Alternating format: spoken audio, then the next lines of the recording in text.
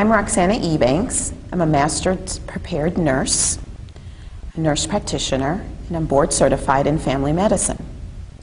Two and a half years ago, I was introduced to Bios Life. It has had an amazing impact on my health, on my family's health. The products are fantastic. They stand alone. Research is there.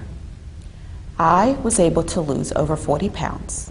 And the amazing part of it is I've kept it off over this two and a half years. I think that's just fantastic. Now I'm making the transition from product user to the business aspect. And I have to reach out to all of my medical colleagues, anyone really, anyone with an entrepreneurial spirit this is a business that has the total package the products, the science, the research, the efficacy, the business model, the franchise opportunity, the support. All that's missing is you.